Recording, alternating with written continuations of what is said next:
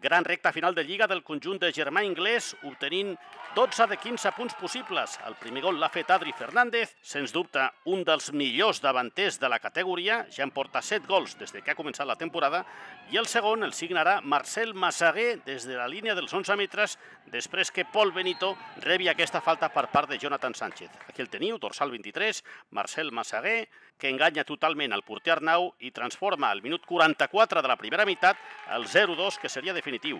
Sesta marcadors al subgrup 2A, Sant Ildefons 0, Escó 2, Alcatllà 1, Rapitenca 4, Vilanova 2, Sant Bullà 3 i Viladecans 3, Vista Alegre 1. L'Escó lidera la taula amb 29 punts, seguit del Gavà amb 25 i Vilanova amb 24. Una mica més a baix, Vista Alegre 15, Sant Ildefons 14 i el Catllà 2.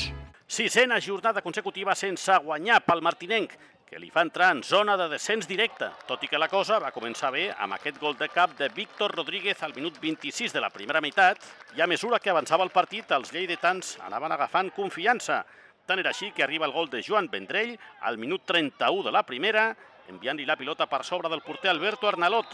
El conjunt de Dani Andreu ho té complicat per salvar la categoria. La setmana vinent viatja al camp del Borges Blanques, mentre que acaba el campionat rebent a l'Atlètic Lleida.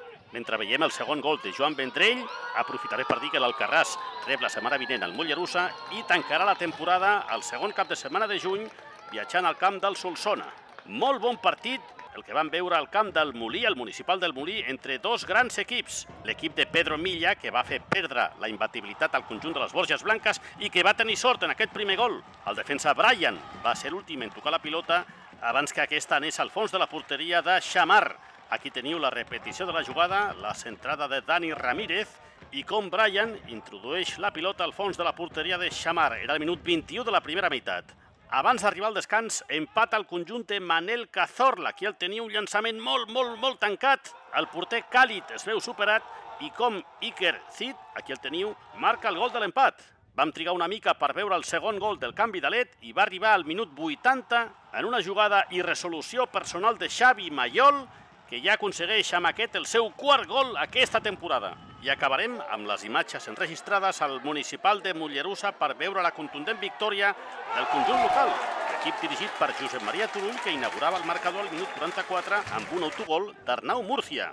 Llançament de banda per part de Genís Morera, pilota cap a Xavi Puiggròs i, com no, Marc Soldevila marca el segon gol, minut 15 de la segona meitat. Un segon gol que ja refermava la condició del líder del conjunt local i el tercer arriba al minut 89 de partit.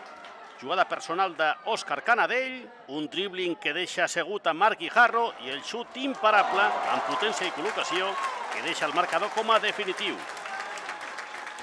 Resultats d'aquesta penúltima jornada al grup 2B, Atlètic Sant Just 4, Atlètic Lleida 1, Martinenc 1, Alcarràs 2, Can Vitalet 2, Borges Blanques 1, Tàrrega 0, Martorell 0 i Mollerussa 3, Solzona 0.